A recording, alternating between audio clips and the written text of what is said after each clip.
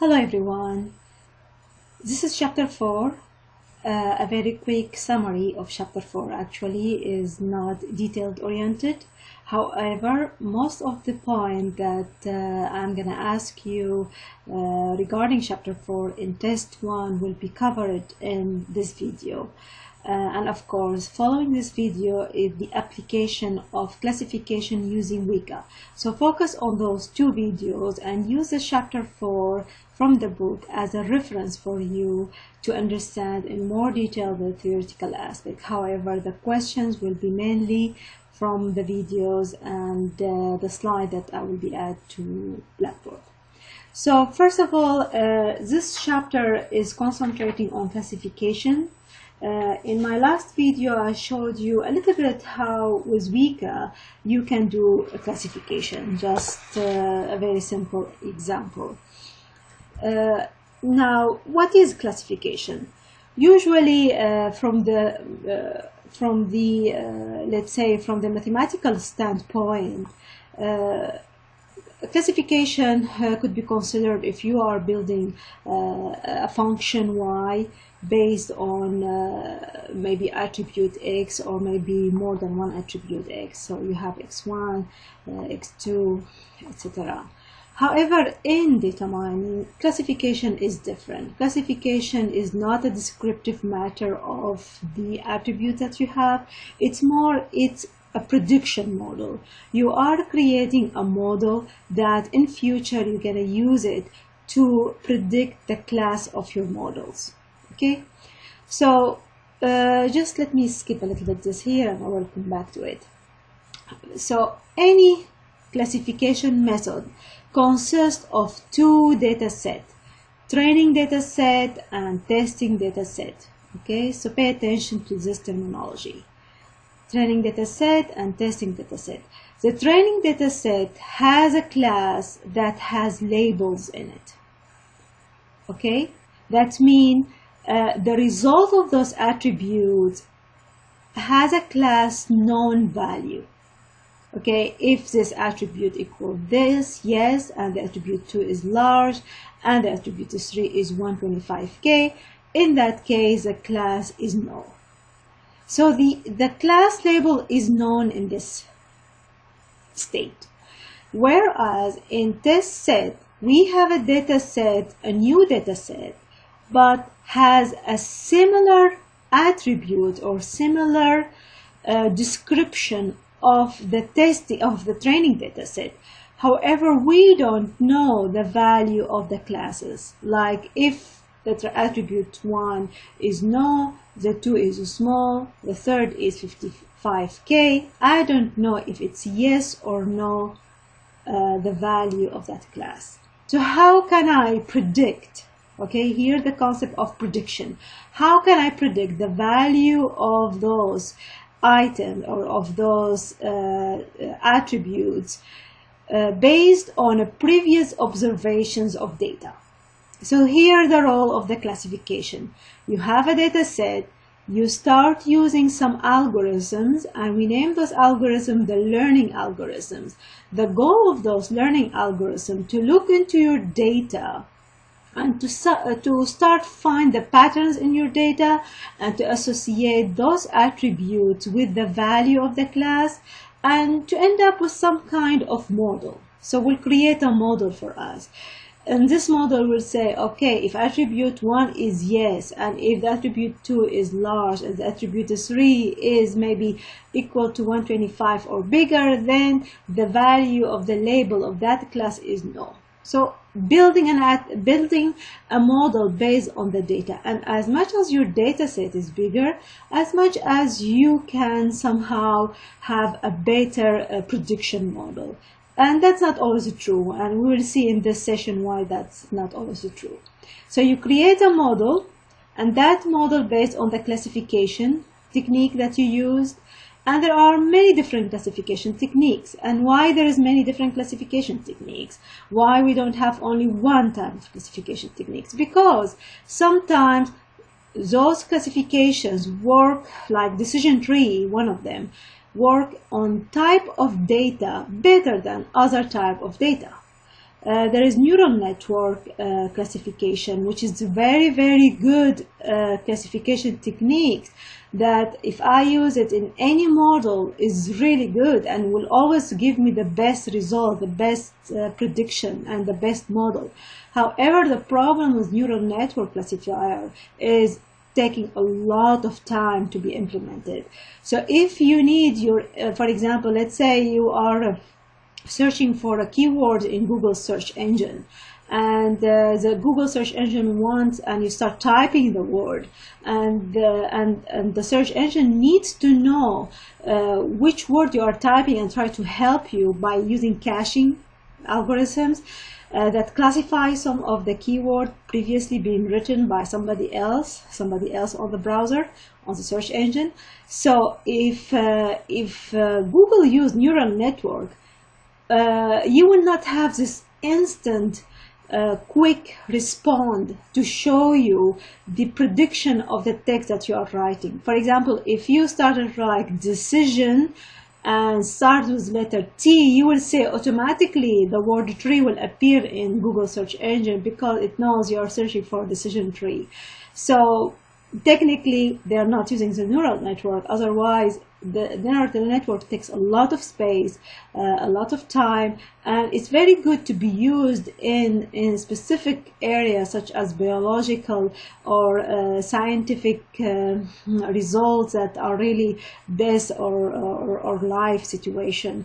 Uh, for example, if you want to predict uh, based on the symptoms of, uh, of, of people that you have data about them, if they have a cancer or not, you really need to work on your data and you don't care about the time at that time. You really care more about to have an accurate result. You have a positive result, not negative results. So what you do after you create your model, you apply your model on the data that, uh, the testing data that you don't have their label.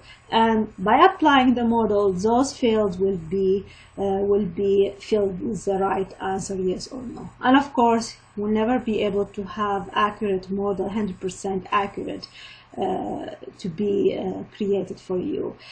Uh, what scientists usually do uh, to see if the model working fine or not, especially when they come up with a new model or a new classifier, they invent a new algorithm or they ensemble couple of algorithms together, what they really do, they have a huge data set. They split the data set into two-third and one-third. This dataset already has a label, but they take off those labels from one-third. They apply the two-third on this algorithm, the new algorithm. They create the model, and then they apply the model on the rest one-third of the data, and they compare the result of the model that generated the labels with what they already know that its real result should be. And then they will say, okay, we have 90% accuracy because only missed 10% percent of the label were wrong actually. So I hope here you have a little bit better idea. So let us go back here. So that's the whole idea. You, this is the first slide. So we have a training data set. You got the meaning. We have the attribute of the data and we have of course a class that it has a label. Is it uh, could be binary yes no. It could be category uh, category maybe uh, low medium high. Uh, it could be uh, some other type but not continuously. Uh, usually classification mostly applied on attribute that are either binary or ordinary or category okay? So your goal is to create a model and that model is uh, going to be used in future on other dataset that doesn't have the class label in it. So that's uh, the whole idea. And of course uh, the concept of test set so if I ask you what the difference is between training set and test set, you should be able to answer question like this. If I ask you what a class is, you should answer what the meaning of, of previously unseen data. You should be able to answer such kind of questions in your test. Okay? Uh, where is applied? Many different areas you can see classification can be applied uh, in the biology uh, domain which is really important. For example if you have uh, tumor cells and you really want to know if uh, if based on the attribute that you collected from the lab if the if the cells the tumor cell if it's benign or is malignant uh, another type is in credit card if you want to see if there is some uh, some kind of fraud detection uh, or if the transaction was really legitimate. Another type also maybe in the protein structure is it a type alpha if it's beta or it's random. So also in biology domain as I said a lot of application use a classification. Also in news, for example, in the stories, you can you can categorize a kind of news. Twitter, for example, uh, you can uh, define those tweeters are, uh, for example, talking about the sport. Those tweeters talking about the weather. Those sport talking about the earthquake. Uh, those, so you can classify the type of a Twitter. Maybe love relationship. Uh, you can uh, you can guess a lot of uh, labels you can label the tweeters in, in nowadays. So what type of classification techniques popular? Of course, there's more, but this is the most popular one. Uh, and I should say here the classification came from the area of machine learning.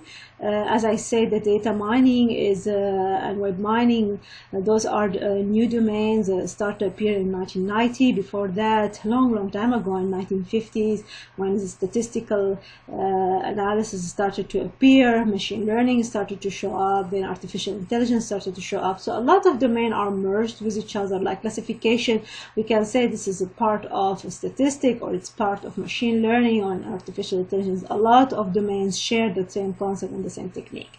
So the most popular one is decision tree, and we're gonna see it today. And it's very similar to rule based. If you convert your decision tree to rule based, and I will show you how, it's, it's those two techniques are almost the same.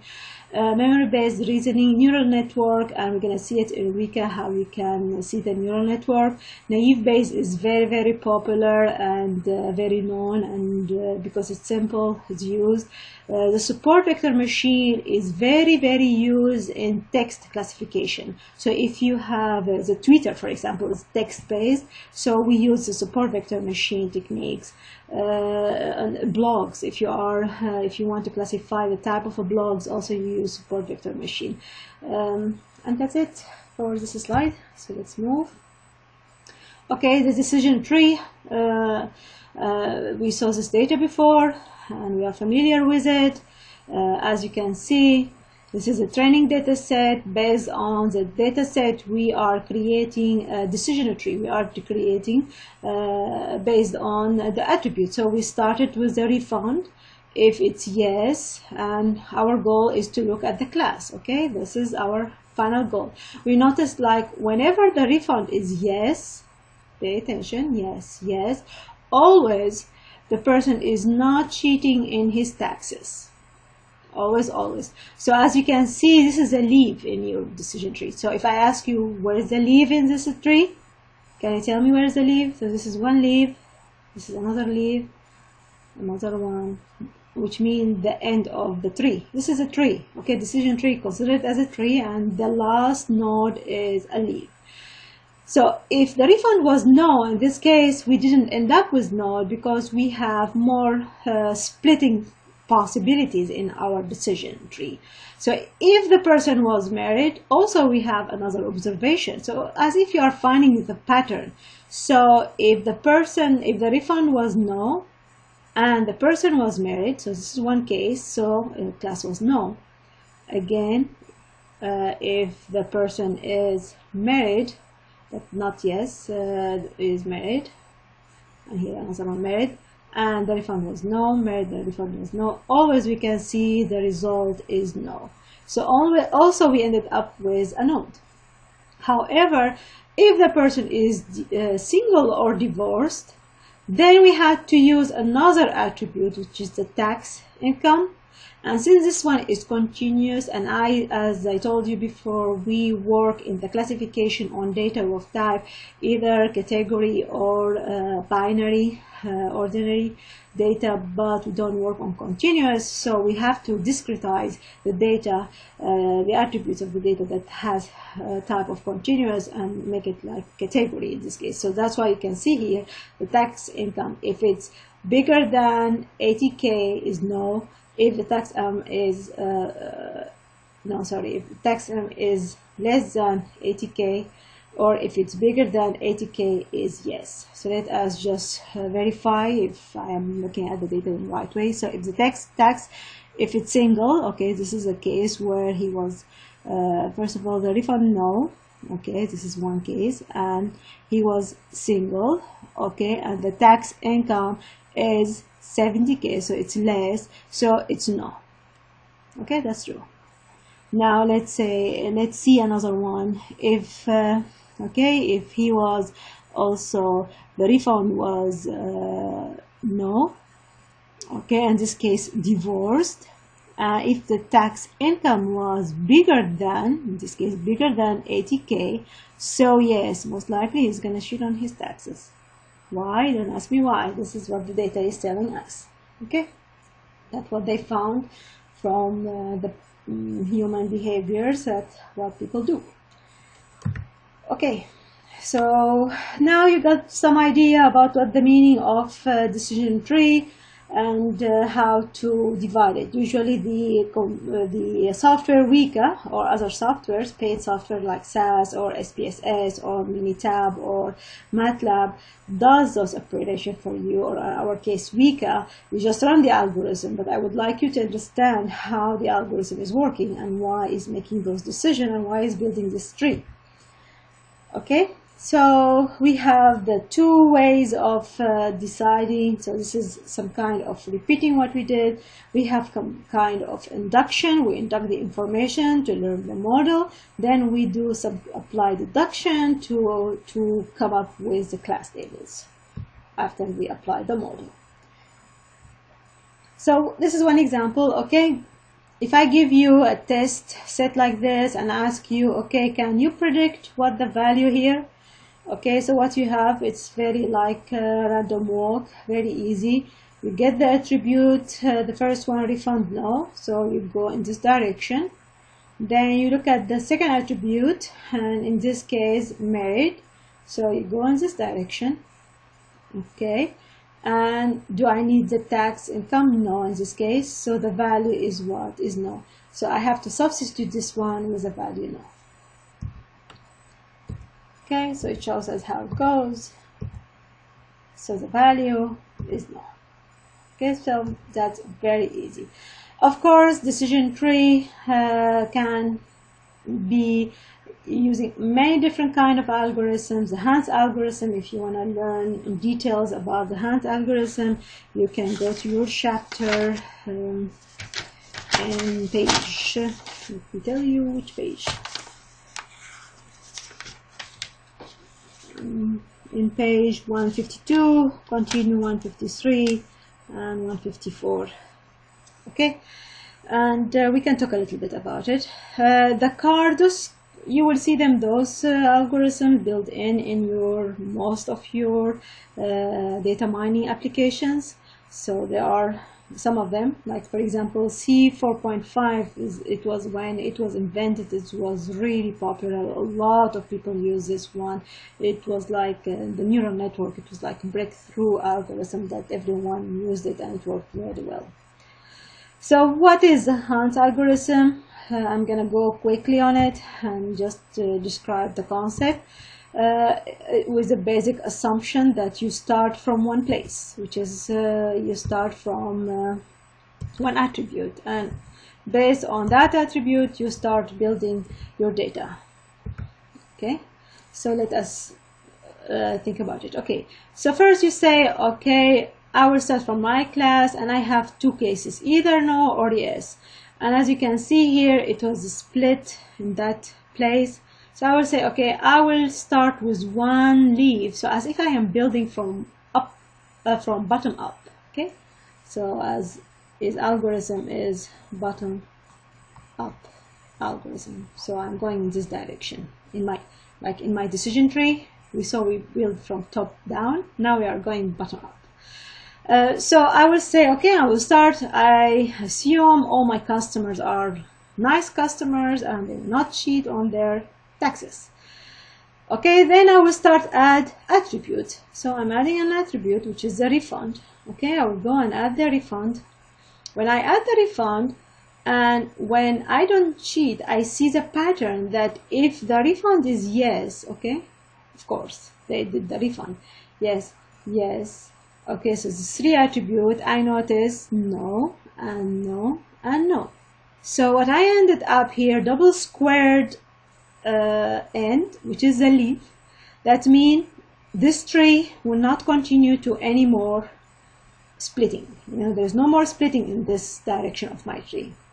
So I have to work on my other side. Okay, so if the refund is no, so now I have to rely on another attribute to help me somehow to predict my class label. So now I am working on the values that they are known. And I am looking on the second attribute, which is uh, can have single or married or divorced. So I noted that if I go to the married, so if I have refund, no, and married, so where are those? Okay, refund is no and married, married and married and married. What the pattern here? All of them are no. No, no. So I end up with another leaf. So this is double square, another leaf is ended up. So I have to continue now in this direction because some of the attribute I didn't cover yet. So the single and divorce I have to distinguish now and to try to find the pattern. Okay, I have to rely on the third attribute which is the tax income. And we found out that if the tax income is looking at your data and looking at the values of your class, that if it's bigger or equal to 80k most likely the customer is gonna cheat on his taxes. If it's the taxable it's less than 80k that mean is gonna not cheat on his taxes. Okay the the type of, of, of the work that we are doing it's it's some kind uh, of optimized work so we are working on attribute to find the best solution uh, actually, decision tree, uh, they will tell you is exponentially solution. Like you can find uh, exponentially solutions to any type of data. So usually you have to have some kind of validation. Or I should say some kind of measurement that can help me and not to build hundreds and thousands of decision tree and to say each one of them why this one is better than the other. So I have to find some kind of attribute, conditions, I have to find the best split and this is a greedy algorithm usually. And the attribute, as we said, we have this type of attribute, but we have to deal with a continuous attribute. Also the split, it could take um, two ways or maybe multi ways. So how can I decide really? Uh, for example, if I have this attribute here, car type, okay, I may have three ways to go, or maybe I will have to go two ways, but I will put the family type alone and the sport and luxury alone, or the family luxury and the sport alone, uh, and uh, or maybe uh, another combination also can be so like, uh, for example, maybe the luxury and uh, maybe I will split them in uh, the three of them in one direction. I will go the three of them in one type. It could be put the three of them in one split and go on. So it should be an uh, validation. It should be some measurement to help me to decide which way is the best. This is another example. The same. I, I have to decide which one to take. So as we see here, I may put the small with the medium, uh, large alone, or the medium with the large, smaller, small alone, and the small with the large and medium alone. So we really don't know, or city split, as you can see here. So if I ask you, I have this type of data, split for me, how many types you, you can end up with, you should be able to do that. So we do some kind of discretization, either static or dynamic, and our software will help us to do this, or binary decision, either bigger or smaller or equal, as we saw before. So here example for the tax income, if it's bigger than 80k, yes, go in this direction. Uh, no, go in that direction. If it's uh, tax income is less than uh, 10k, first, then if it's between 10 and 25, the second, between 25 to 50, between 50 and 80, then if it's bigger than 80, go. So here I have five splits. So it's multi-ways, you can go the way you want. So it should be really some kind of validation to help me. Uh, to, to, to know which conditions and here it's more like not only they after they split they saw how many in the class uh, 0 which is let's say class 0 the one that has answered no and uh, the class label was no the class 1 the class label was was yes. We found six items in zero, four items in in, in, in yes. Uh, if we went with no of course the sum always uh, here will be uh, the total okay will be equal. Uh, or if you go in three directions for example here uh, we found out that uh, uh, that the split. So again we will end up if you sum up those as you can see there's 10 okay like we had here 10 by 10 or you may go with another attribute. Why why did we pick first the car type uh, or uh, on a car? Why not pick another attribute first? Why did we pick the refund first? Why we didn't pick the uh, tax income first? So a lot of questions here raised. So what kind of measurement uh, for impurity? And this is just take it always as opposite of, uh, of positive. So always you have to look at the minimum. So entropy is opposite of purity. The Gini index exactly also it's uh, a misclassification error. So as much as those numbers are smaller, as much as our split is better. Okay, so we have to remember we want it always to be smaller. So for, for example here using the Gini and we have the, the following formula. Always when you have uh, uh, impurity, you have 1 minus the sum of, some, of, of the, the probability of something. So in here, in this case, for example, uh, is equal to 1 minus the sum of the prediction of this item belong to this uh, to this class squared. For example, here we have class 1 and class 2. So let's say we pick the first attribute, and in this first attribute we found zero item belong to the class that says no, and six at uh, six uh, uh, six uh, items belong to the class that says yes. So let us compute the Gini. Uh, so one minus the p to class squared, which is zero, uh, squared zero, which is zero, and the second class which is 6 squared which is which is uh, the result of this one. Uh, okay so let's go back. How many items we have here? Six items. So uh, how many of them in the class 0 0 over 6 how many of them in class 2 6 over 6 so we have one. So the, the possibility of uh, of having the item in, uh, in C1 is 0 in C2 is 1 so 1, which is this one here, minus the probability of having the item in C1, which is 0 in this case, squared of course, and minus the possibility of having the items in the C2, which is 1, because all the items are accurate. So the result is 0. Do the same for this. How many items we have? We have 6 in this case. How many of them in C1? We have 1 of them over 6, and we have 5 of them over 6. So this, do the same. Okay, we square the 1 over 6, we square the 5 over 6, and we end up with Gini with this number. Here's the same, but we have two items in class 1 and four items in class 4. Total, we have six items.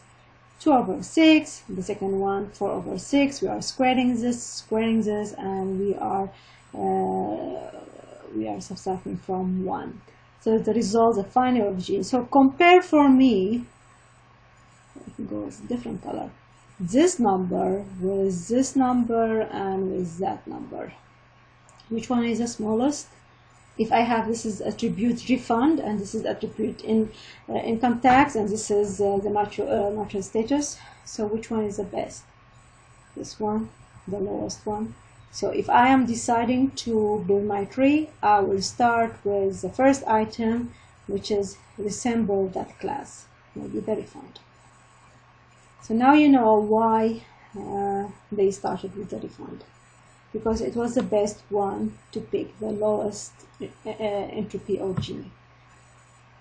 So if you have more than children, you sum up over all the children. And this is an example of how you do it. Uh, you can look at the data and compare which one, if I ask you which one of those are the best split to decide. Okay, the Gini here was 0 0.393 here it was 0.4 here was 0.419 so this is the smallest. So I will say I will pick three splits. So instead of two way I will pick the split that goes in this way I have the family I have the sport and I have the victory. it is the best because it's the lowest value of G lowest errors in our data the continuous data, as we said, we have to convert it, to discretize it, maybe to binary. So in here, in our case, we found that um, you may go with, if it's bigger of 80K, yes, so go in this direction. If it's less, go in that direction. And you can apply exactly the same what we did before by computing the Gini. So what you do, you sort your data, okay, as you can see, and, and the split position. So you know where where to split okay if it's less or equal 55 or if it's bigger okay less or equal. So here as if we are splitting the data okay and moving until we end up to the end of the data. Then we are for each class label we are computing the Gini and as you can see here the values are varied and the lowest one is this one so accordingly, I will pick the cut to be in this area. This area is the best cut for me. Okay, the, to be less than or equal 97 or bigger than 97, the tax income, based on Gini. The entropy is another measure, similar uh, in Gini, but with different type of calculation.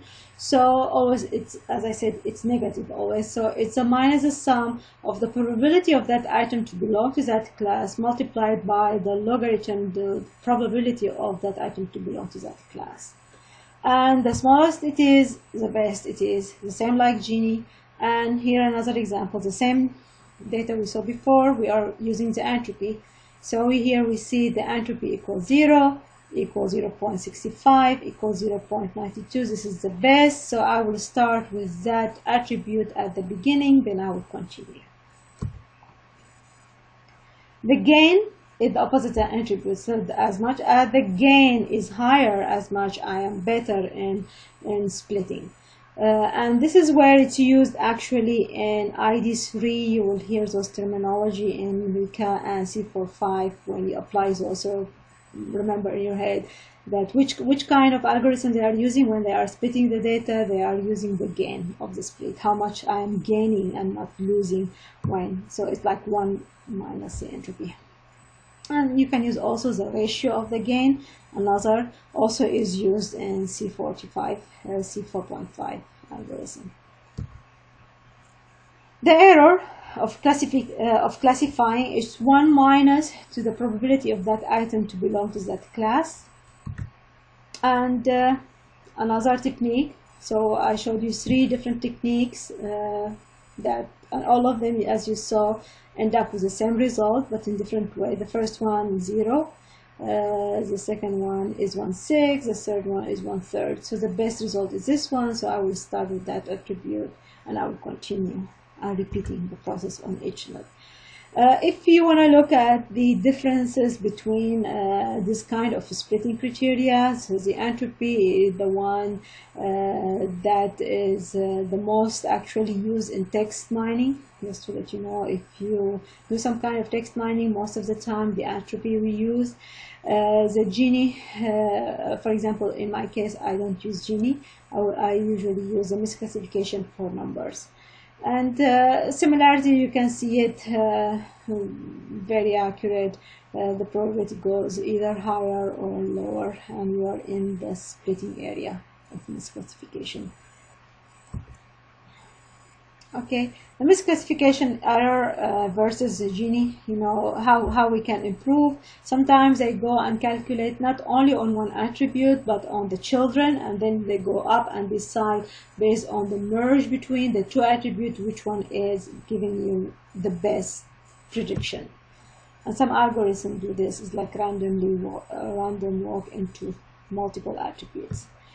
So where to stop the splitting? This is a big question. So stop expanding the node when all the records belong to the same class. This is one way. Stop extending a node when all the records have similar attribute values. So you finished. Maybe early termination, and this is we're gonna discuss it in in future in our uh, next unit. Uh, sometimes it's better for you if you have some kind of dendrogram to split in specific area because if you are going more deep you may end up uh, with very huge uh, splitting that you cannot handle new data. Okay, so what is the advantages of using, uh, using a decision tree to classify? It is inexpensive, as you notice, it's very quick and expensive. All, all what you have to do is to calculate the entropy of Gini or the classification error. And it's uh, extremely fast. So if I wanted to compare it to a neural network in future, you will tell me why decision tree is better. It's extremely fast and uh, uh, to classify and on record. Easy to interpret and small for, for small size tree. You can look at it and you can understand it. Uh, accuracy is comparable to other classification techniques for many simple data set. So the, the accuracy is good enough to be considered good technique. The second one, C 4.5, very, very popular and very good. It goes in deep and it uses the information gain as we said before. And uh, it can source continuous attributes at each node. Uh, it, it needs the whole uh, data at once to be fit in the memory. That's a big problem. So this is a minus. This is not a plus for this technique. So it's not suitable for huge data set. That's the biggest problem. So you need to have a very uh, efficient uh, computer to be able to implement it. However, it's very good uh, result and that from it very important technique here and uh, sorry concepts uh, that uh, come up from the classification arena which is two concepts the underfitting and the overfitting and missing value and the cost of classification. But those are the most most important underfitting and overfitting what the differences. Uh, for example, let's say I have this data. It would be great if I can uh, classify this data in a way like I can, let me change the color so it will be different. Uh, if I can build, this is one class, as you can see, and this is second class, and the rest is a search split. Of course, very difficult to come up with this kind of uh, classification. However, the concept of overfitting that you have data and what you do, you try as much hard as possible to fit your model to this data. So what happens is whenever you come up with new data, the new data will not work well on the model. So you are creating a model and this model is so accurate on the data set that you have in hand. So if a new data came with no classes label in it, that this data never saw before, never saw this kind of, uh, of attributes relationship, the model will not work well. The underfitting is the opposite way. You have a very small data set, testing data set, uh, training data set, and your classifier is not able to really well classify a data set, new data set, because you really didn't learn enough from your data. And you can read from the book more to, to answer if I ask a question what the differences between underfitting and overfitting. It's very important concept to understand. And as you can see here, uh, if the red is a training set and the blue is the testing set. So if my uh, training set is very small, so see the number uh, of nodes are, if I start from here, I have the error percentage is very high. And as much as my training set is getting bigger and bigger and bigger, and I am training, as much as my error rate is getting smaller. Okay. However, what happened is if my testing data set will not be uh, well enough fitted because I am, I am deviating, I am overfitting my model to, to understand only the data set on hand. Now the testing set is working, as you can see here, very bad. The errors are very high, almost 50%, 45, like 43 here, 42, let's say, errors of classifying. Then it's getting better, better, better, better, better. However, uh, and this is a cutting point that says that, okay, let us cut in that model. Don't overfit your data. Stop at some place that you say it's split it good enough. So if I have a new testing set will work good enough on my data. So this is the place where the error is almost the lowest. Okay. Now another type of overfitting can appear because of noise points. So this is like outlier. Uh, actually, if I didn't have this one, my data set is split it in these two directions. This is one type, and this is the second class sorry second class. So this this one item caused all this trouble and that's why we say overfitting due to the noise. We tried as much as possible to fit all the data to have them in one class but really it was a noise. So really you have to cut in some place not to continue overfitting due to the insufficient examples so I don't have enough examples. So those data really were misclassified. So the split was here by two.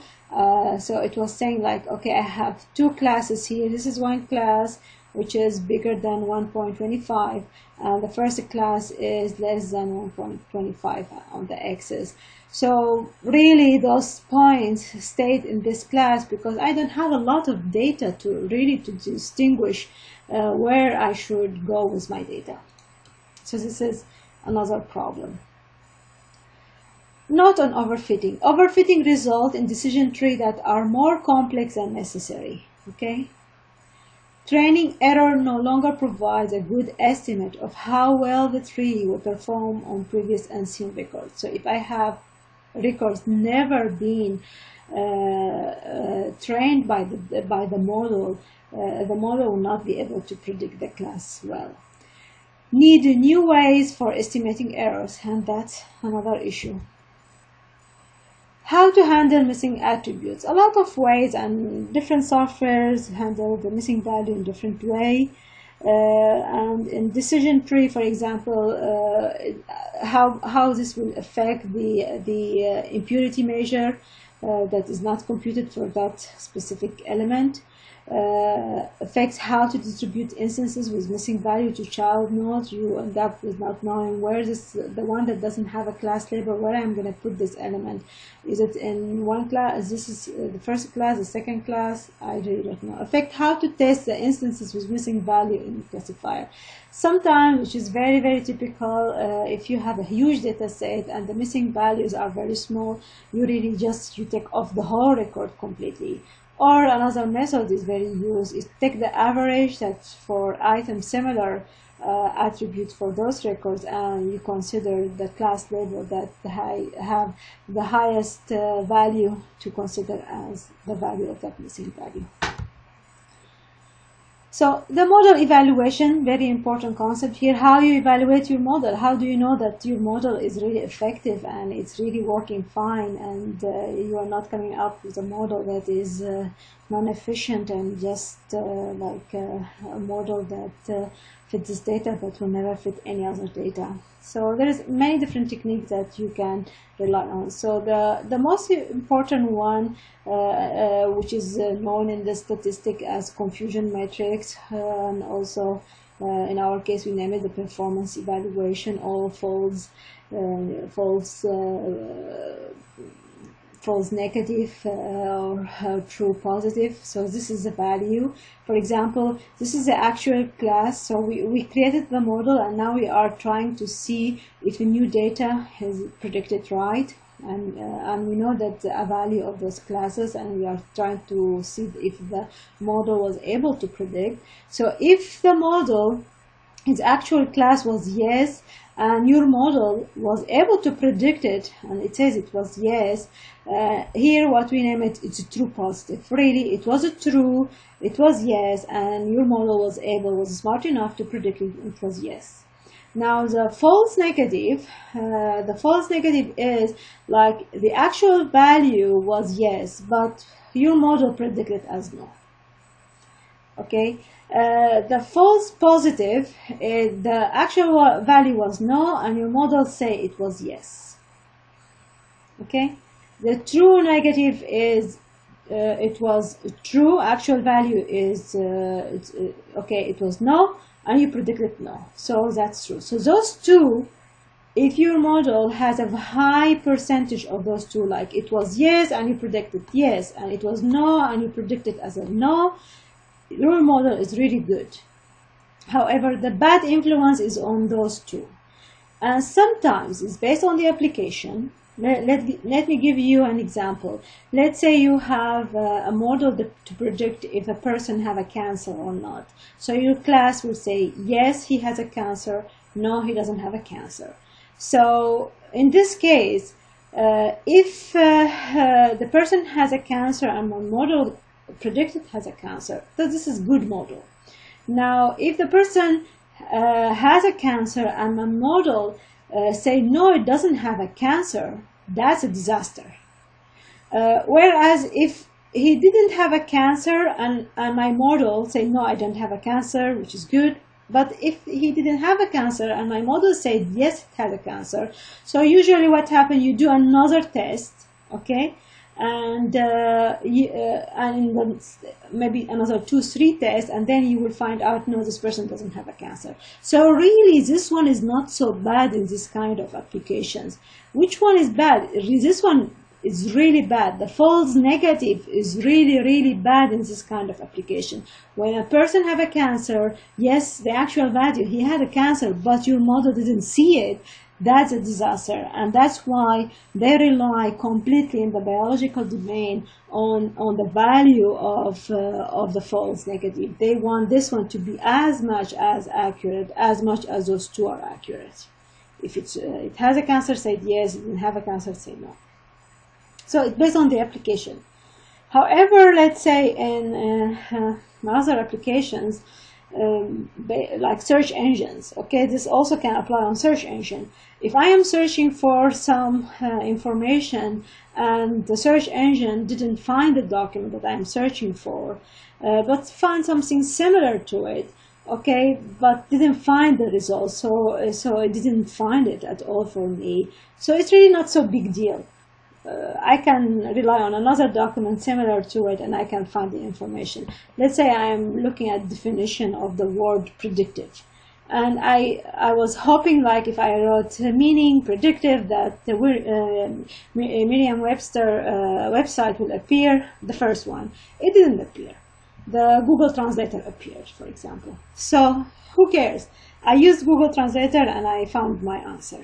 So it's really not a disaster for me for predicting wrong, uh, giving me another alternative which is not the right one that I'm looking for. So that's why I'm saying classification is based on the domain. So accuracy is, is based on the sum of those. So we are naming them just to make it easier for you.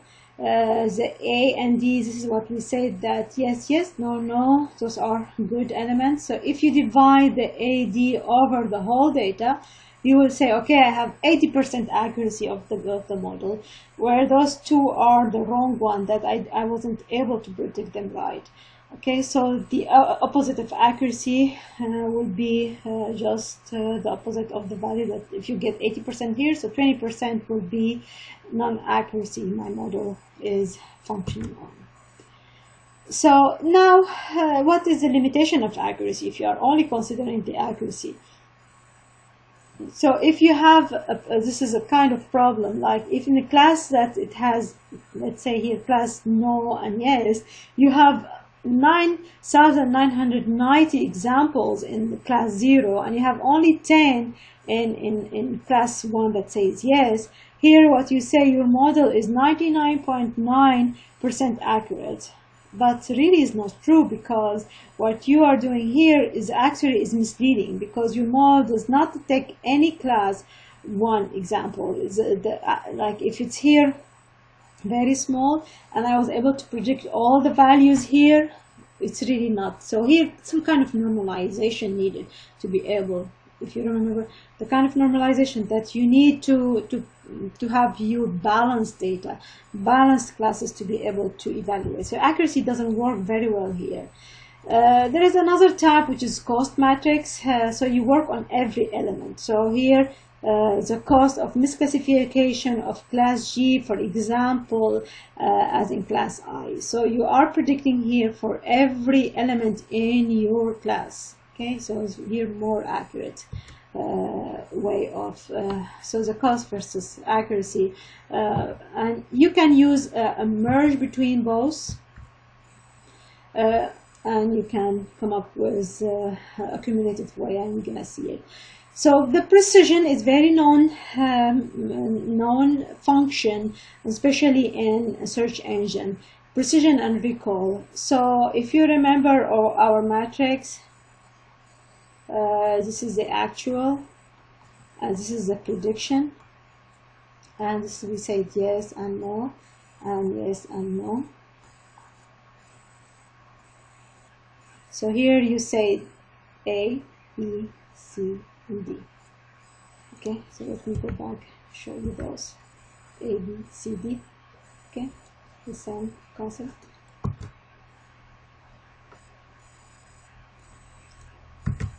Now why is the slides getting slow? Okay, so if you say the precision is the A, how much yes you are able to predict over A plus C. So really, you are caring about uh, the real, uh, the like what, how much accurate uh, data. Yes, you you pulled from the one that you are looking at, and this is more used, as I said, as a search engine because you really care about uh, your data. How much of your data that you are looking for, uh, like for example here, uh, yes I, am looking for this document and I was able to find all the document. However, some of the documents that I found are wrong. Okay. So the actual data was no, I shouldn't find that document and I predicted that yes, it pulled the document. So it gave me the how much precision, like 10 pages from the search engines appeared. Eight of them were right related to the search engine keyword that I put in Google, for example. So this is this is 8 for example and from the 10 so 80% it was right being pulled. The recall is how much the system is smart enough and this is very difficult in search engine to compute how much the system was accurate to pull all the document that exist on the web. So let's say I have uh, I, say I put data mining and I am a Google. I should be working for Google to be able to know how much, how many times the word data mining appeared in all the web pages in worldwide. Uh, and let's say there is uh, 10 million pages. Uh, so actually, uh, I was able to pull 9 million, and uh, actually the one that uh, would, would I should I pulled 9 million and the actual value that I should pull is 10 million. So actually 90% accuracy. But this is very, very difficult unless you know your domain, unless your search engine is built on your, uh, on your website and you know really that all those words are mentioned in your website. There is another measure which is uh, like uh, balance between both those because none of them is uh, good enough which is you multiply the, uh, the recall by the precision and you multiply it by 2 and you divide it by the sum and is known as the F measure. It's very popular, very known. Another way is to add weight to your date to your uh, accuracy. So we saw the accuracy before. So maybe you will you will give different weight uh, Uh, if you, uh, if, uh, for example, the, as we said in the medical domain, the B is really important. We don't have to, we don't want to make a mistake on B. So maybe in that case, I will uh, penalize this weight a lot co compared to the other, uh, other, other value. Okay. So model evaluation, another way is reliable estimator, how to obtain a reliable uh, estimator. Uh, the performance of the model may depend on other factors beside the learning algorithm. Of course, maybe the class distribution, we really we don't know how the class that we are looking at distributed the items. Uh, how much is important that the misclassification, uh, when you misclassify uh, in the biology uh, domain is really important, is really disastrous. But if you misclassify in data set related to, to weblogs, it's not really important. The size of the training set and testing set uh, in the biology domain is very important to have a big size of a training set. So you will be really, uh, when you make a big judgment and big decision, it's a life or death decision. Uh, so it's really important uh, to have a big training and testing set to, to be able to decide. Uh, however, in some other domain is not really important. If you want to look at the social network, it's really important to have a big uh, training set and testing set. Otherwise you cannot come up with some kind of pattern to say okay today the twitter of uh, of the north america were most of the time talking about the game of saturday. And if you only collect 5% of the tweets uh, this is not really considered as a, as a good judgment. So you have to have a bigger data set uh, the learning curve, uh, this is, I'll go very quick on that one. Uh, based on the sample size, uh, if your sample size is getting uh, bigger, as you can see, your model, you're gonna have a higher accuracy, you're getting a better accurate result. when your data set is small, you have a small size, even the variance is big. See how big is the variance here? which means that the, your your measurement is is is not so good. Uh, there is a lot of uh, non-accuracy, and it gets smaller and smaller and smaller, and your accuracy getting better. Uh, methods used, uh, and you're gonna see it in Wikidose, uh, that you divide your data, they name it hold out, and uh, you can see it also in your book more details. So you use you have the data two thirds of the data you train and then you test on the rest third uh, random uh, subsample so you have your data and you say okay randomly I would pick 80% uh, of my data. So you run a random algorithm and then you take the data and you see if the testing the rest of it if it's applying on it and if the class is really was predicted or not Cross validation is very, very popular and also we're going to see it. So you partition your data on k-fold. Uh, for example, let's say you have the data of 100 items and uh, you uh, divide it into, uh, into five. Uh, okay, so here you have a 20 sets, 20 fold and every time you run your learning model you pick uh, let's say uh, uh, 15 fold for the training and the rest 5 for the testing. And you keep changing those 15 uh, randomly. Uh, stratified sample uh, over sampling over under sampling so this is very popular concept of either you sample too much or you are take little samples Bootstrap uh, and what you do here, you take samples, random samples of your data to create the model and you replace them. That means you take, you take an item and you put the same item again in your data and you test it again. Uh, the final uh, step, which is the model of comparison, between uh, there's a very known the ROC function uh, receiver operation characteristic. I'm gonna pass very quick on that one but it's really really important especially in the statistical domain uh, to know the the false positive from uh, from the true positive. So here what we have actually uh, uh, we have on our data the positive classes. Okay so you have it's missing part of it doesn't matter.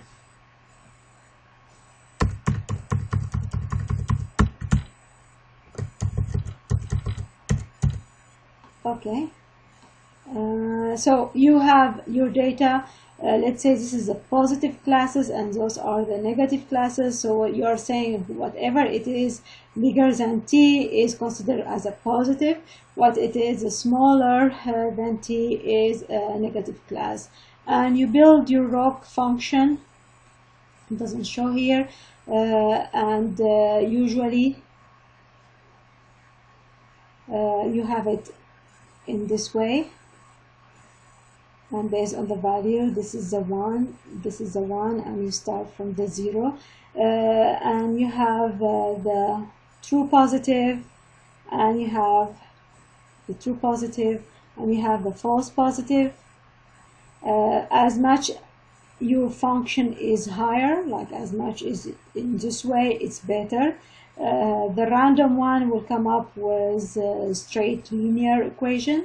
Uh, so as much as you are higher in your function as much as is better because as much as your true positive value is getting uh, uh, better than having a false positive value okay if you want to read more about the ROC function also it is in your book. Um, it should be at the end of the chapter.